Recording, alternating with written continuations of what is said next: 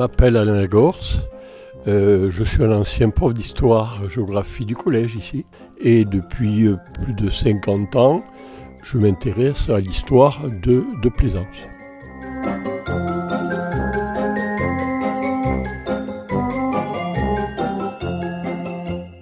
Le premier lieu historique et emblématique de Plaisance du Gers, c'est la petite place à Arcade de la mairie, qui est ce qu'on appelle le cœur de la Bastide.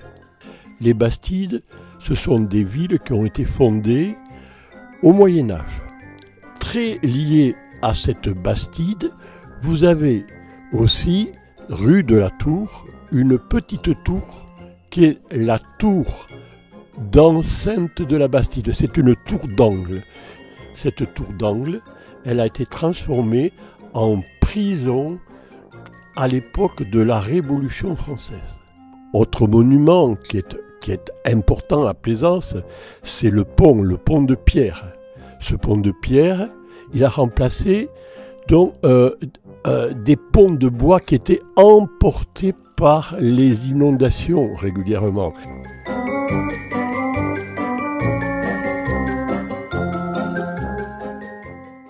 Vous avez rue, euh, rue Granier de Cassagnac un très très grand moulin, le moulin de Cassagnac, qui a été créé sur un canal d'irrigation, le canal de Cassagnac, et qui, arrive dans la ville par un personnage très très important qui s'appelait Bernard Adolphe de Cassagnac. Il était un conseiller politique de l'empereur Napoléon III. Et il a été maire de Plaisance de 1864 à 1875 et il a construit sur ce canal d'irrigation, il a construit deux moulins.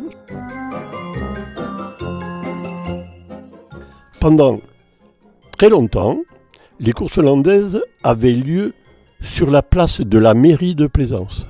Sous le Second Empire, on a construit donc une arène en bois. Et en 1936, on a construit cette arène en ciment qui est un peu de, disons, euh, euh, d'influence hispanique, un peu, un peu arrondie, alors que les arènes euh, donc pour la course hollandaise sont généralement rectangulaires.